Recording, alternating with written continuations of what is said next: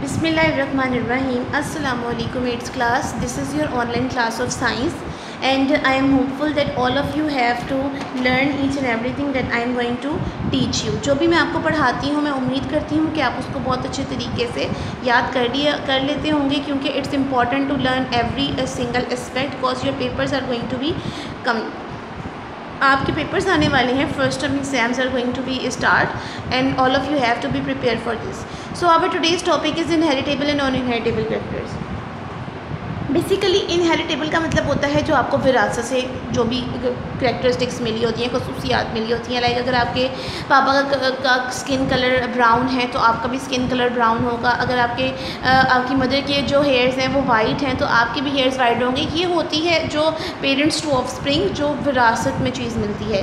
कुछ ऐसी चीज़ें होती हैं जो विरासत में नहीं मिलती। लाइक कुछ लाइक like, अगर आपकी कोई एक एक फिंगर है जो कि एक्स्ट्रा फिंगर आ गई है तो आप वो कहेंगे कि वो आपको विरासत आपके ऊपर पेरेंट्स में किसी की भी एक फिंगर एक्स्ट्रा नहीं थी। कुछ लोगों की आपको पता है ना ये लास्ट फिंगर के साथ एक छोटी सी फिंगर और होती है या फिर थम के साथ एक छोटा थम और होता है तो वो विरासत से आपको नहीं मिलती। वो कुछ और करेक्टरिस्टिक्स होती हैं जो कि जीन्स के थ्रू आ जाती हैं बन जाती हैं। तो this is a non inheritable characters पढ़ना स्टार्ट करते हैं।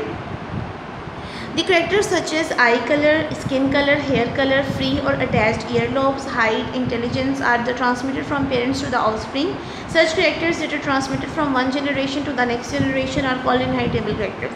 ये inheritable characters की definition है कि the, the characters that are transmitted from one generation to the next generation are called inheritable characters inheritable characters are controlled by genes अब जो inheritable characters हैं वो genes control करते हैं वो genes जो कि आपको parents से मिलती हैं वो control करते हैं Many characters of parents are not transferred to their offspring because these are not developed by genes. Such characters are called non-inheritable characters. For example, if a body organ of a person is lost or weakened due to disease, this character is not transferred to his or her children. Like अगर एक इंसान है उसका कोई body character नहीं है हाथ नहीं है या पाँव नहीं है या कुछ ऐसा है कि वो कोई भी ऐसा करेक्टर जो कि नहीं है तो इट डजेंट मीन कि वो उसके पेरेंट्स का भी नहीं होगा।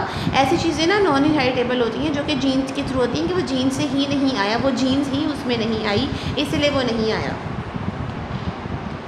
So it's all related to uh, characters that are transferred from parents to the offspring ठीक है inheritable characters and non inheritable characters दो definitions हैं और बहुत important definitions हैं इसको बहुत अच्छे तरीके से आपने अपनी कॉपीज़ पर लिख भी लेना है और आपने याद भी कर लेना है ठीक है next page is about examples of inheritable characters की कौन सी ऐसी चीज़ें हैं जो कि आपको पेरेंट्स ऑफ़ स्प्रिंग तक आती हैं? तो उसमें सबसे पहले उन्होंने बात किया आई कलर की। लाइक like, जो आपके पेरेंट्स की आँख का रंग होगा वही आपकी भी आँखों का कलर हो जाएगा।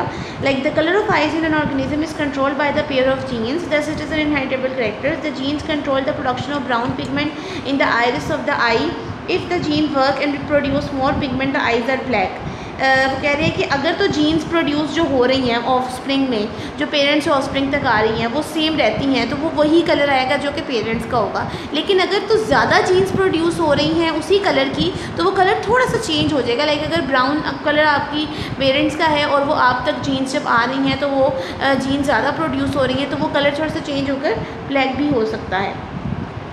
Production of very less pigment result in light brown eyes blue green and hazel eye color developed due to the production of brown pigment in different amounts.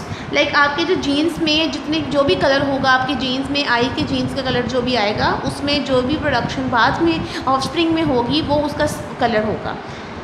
ठीक है जी नेक्स्ट पे आ जाते हैं that is attach and detach ear lobe देखें, कुछ ऐसे attach year lobes होते हैं, जुड़े हुए होते हैं, कुछ डिटैच होते हैं, जो कि नहीं जुड़े हुए होते। In some people the ear lobes are attach with the sides of the face while others have free ear lobes ठीक है this factor is also control by genes when then when the set gene work the ear lobes हैं। Freely detached lobe some people do not have this gene, this earlobe remain attached with the sides of the face. कुछ लोगों में ऐसा होता है कि ये gene transfer होती है, लेकिन कुछ लोगों में ये जीन ट्रांसफ़र नहीं होती तो वो उसमें डिफरेंस आ जाता है। लेकिन ज़्यादातर ये जीन ट्रांसफ़र ज़रूर होती है।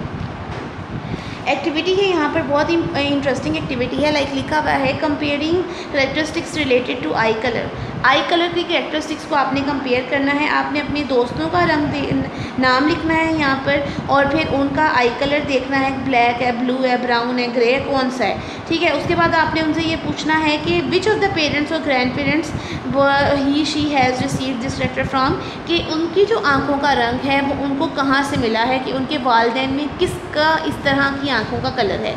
ये जो एक्टिविटी है ना, ये बहुत इंटरेस्टिंग है। एट्थ क्लास ये एक्टिविटी आपने कंप्लीट करनी है। This is very interesting activity मैं अगेन आपको कह रही हूँ वेरी इंटरेस्टिंग एक्टिविटी इसको ज़रूर करिएगा। यहाँ पर आपने अपने दोस्त का नाम लिखना है, यहाँ पर उसकी आई का कलर लिखना है, उसकी आँखों का क्या रंग है, और फिर उस, आपने उससे पूछना है कि ये रंग उसको कहाँ से मिला है, उसके पेरेंट्स में से कहाँ से मिला है? अगर पेरेंट्स में से नहीं है तो उसके नाना नानी में से उसको मिला होगा या उसके दादा दादी में से मिला होगा। तो ये चीज़ आपने ज़रूर करनी है एक्टिविटी टू पॉइंट उसको करने में आपको बहुत मज़ा आएगा। Next is comparing characteristics related to ear lobe उसके बाद वही बात आ गई ईयर लॉब की कान की। आपने अपने दोस्तों का कान देखना है उसका पहले नाम लिखना है उसका कान देखना है। अगर फ्री है तो फ्री लिखते हैं अटैच्ड है तो अटैच लिखते हैं। उसके बाद आपने उससे वही क्वेश्चन करना है कि ये एक्टिविटी ये जो uh, जो जो भी इनहेरिटेबल करेक्टरिस्टिक है ये आपको कहाँ से मिली है? आपके पेरेंट्स में से। फादर से मिली है या मदर से मिली है? अगर दोनों से नहीं मिली तो ग्रैंड पेरेंट्स में किसकी ये चीज़ थी? तो वो आपने यहाँ पर लिखनी है। एट क्लास बहुत बहुत इंटरेस्टिंग एक्टिविटी है। इसको आप ज़रूर करिएगा। अगर आपको कोई फ्रेंड का नाम नहीं आ रहा तो आप घर में किसी से भी बात कर सकते हैं।